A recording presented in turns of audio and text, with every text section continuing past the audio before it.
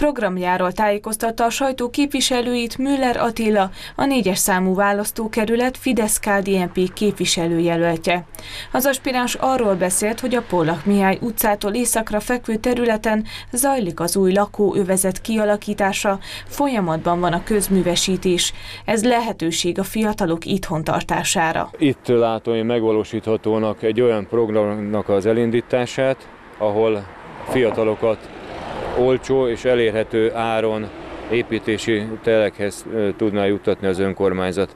Az én képviselőprogramnak az egyik fő eleme, hogy valahogy a fiatalokat itt tartsuk, és, és lehetőséget biztosítsunk ahhoz, hogy, hogy építkezhessenek.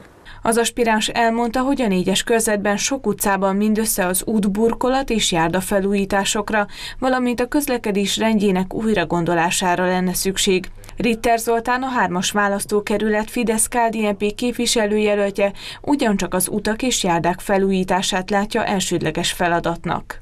Körzetben a 31 utcából még 19-ben még mindig ez a régi betonburkolat van.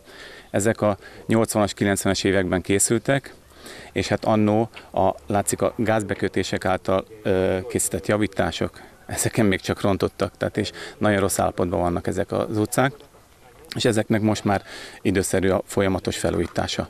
Az utcák felújítása előtt a lakosokkal egyeztetni fognak a tervezés és kivitelezés módjáról, mondta el a jelölt, aki arról is tájékoztatott, hogy megérkezett már a városba az első két kilenc személyes busz, melyekkel az igényvezérelt helyi tömegközlekedést elindítják.